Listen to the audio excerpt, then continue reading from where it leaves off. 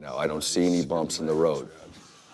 There's going to be some challenges. We got a serious challenge coming up in Cory Sandhagen. There's going to be some challenges. We got a serious challenge